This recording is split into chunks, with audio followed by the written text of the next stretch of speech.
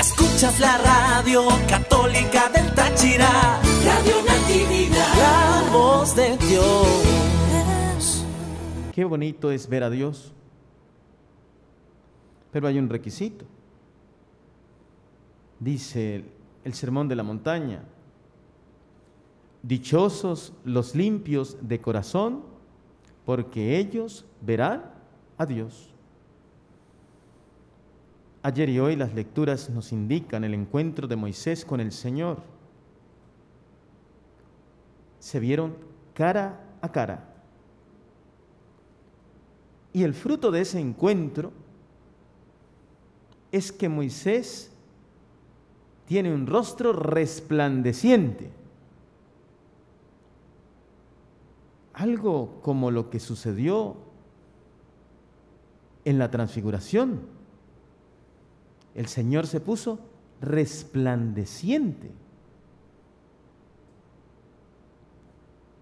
Nosotros los psicólogos, no sé si es defecto o cualidad,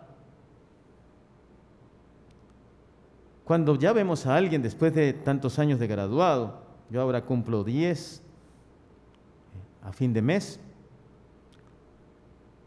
ya uno no tiene que hacerle una prueba psicológica a la gente. En el rostro nos damos cuenta quién es quién. Pero qué difícil es encontrar un rostro resplandeciente, lleno de luz, lleno de paz, lleno de tranquilidad, lleno de serenidad. ¿Y saben por qué no se encuentran? porque vivimos angustiados, preocupados. A causa del pecado tenemos remordimiento de conciencia y todo eso porque nos hemos alejado de Dios. Cuando nos acercamos a Él con pureza de corazón, nuestros rostros resplandecen. Cada uno de nosotros se convierte en una antorcha que ilumina la vida de los otros. Cuando nosotros somos luz, quieren que estemos en todas partes. Nos buscan, nos solicitan. Pero cuando somos oscuridad, nadie se nos quiere acercar. Muchos pareciera que no creen en Dios. Una constante tristeza en el rostro. Otros llenos de mucho miedo en el rostro otros llenos de angustia. Y los que han fracasado por no haberse ido por el camino correcto, rostros llenos de amargura y obstinación.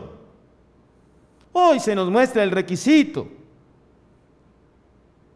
Acercándonos a Dios, teniendo limpio el corazón, podremos verlo cara a cara y vamos a resplandecer.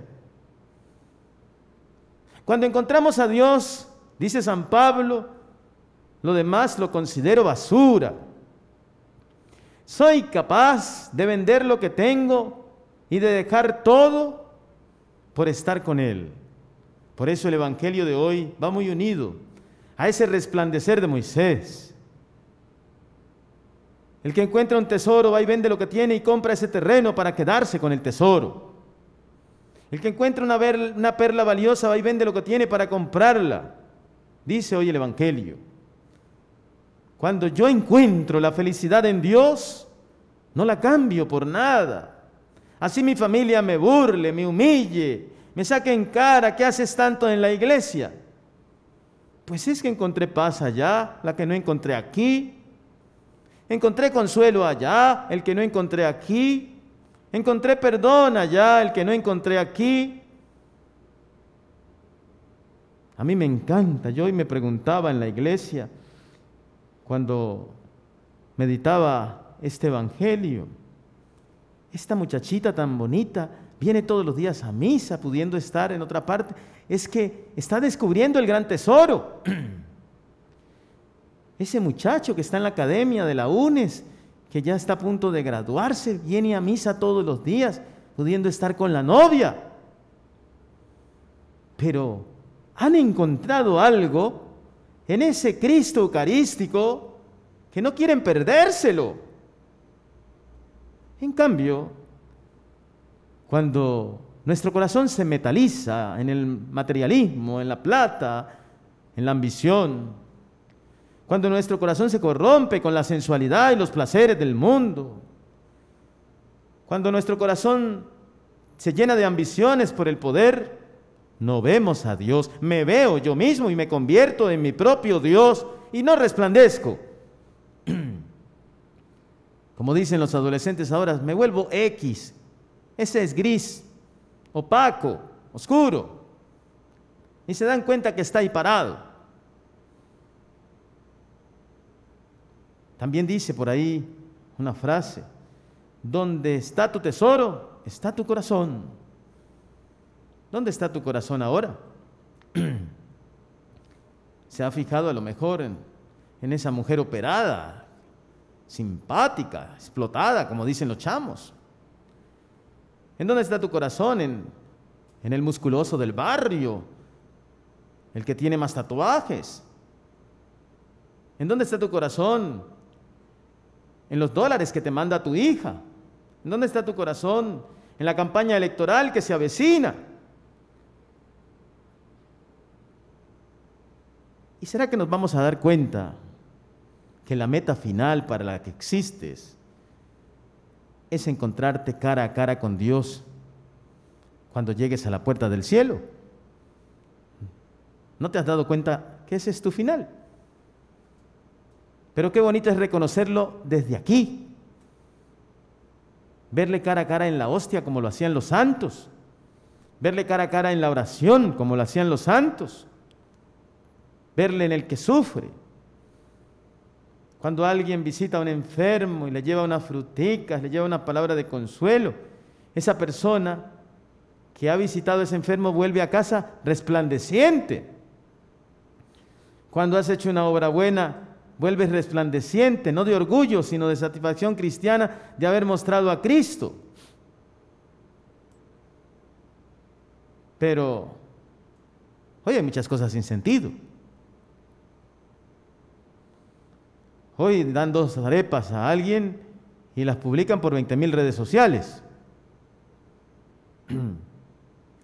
Pero no como para hacer un camino, sino para que se den cuenta que fui yo el que dio. Fui yo el que dio. Apláudanme.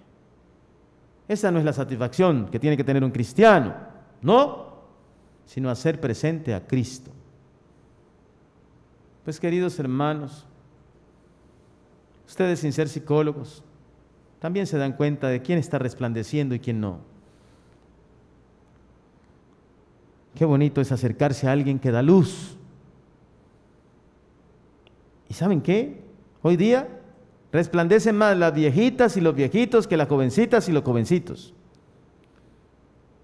Porque tienen una sonrisa, porque tienen ternura, porque se encuentran con Dios en la oración, porque hacen obras buenas. Qué triste debe ser encontrarse con consagrados que son amargados, con muchachas que se metieron a monjas por escapar, de la casa y hoy día son amargadas. Por muchachos que se fueron al seminario o al convento de frailes por huir de sus miserias. Esos no van a resplandecer. Porque resplandecer es cuando hay paz, felicidad, cuando las cosas auténticamente. Pidámosle pues al Señor que nos dé la gracia de encontrar cómo resplandecer, cómo ser luz, la luz de Cristo. Dice otro evangelio, ser luz del mundo y sal de la tierra. Empecemos a transformar nuestro rostro. Busquemos la paz que ofrece Cristo. Pero nos estamos volviendo muy ambiciosos. Estamos gastando la vida en hacer plata, Estamos gastando la vida buscando poder y peor, en el placer de la lujuria. Queridos jóvenes, están jóvenes, resplandezcan. Busquen el resplandor de Dios, no el de las drogas, no el de las desviaciones sexuales, no el de la corrupción y el dinero, sino el de ser buenos hijos de Dios. Pidámosle al Señor esa gracia. Qué mejor ejemplo de un rostro que resplandece viendo a María, el rostro de María, y el de Jesús transfigurado. Dejémonos transfigurar, pero para eso hay que buscar a Dios y querer verle cara a cara.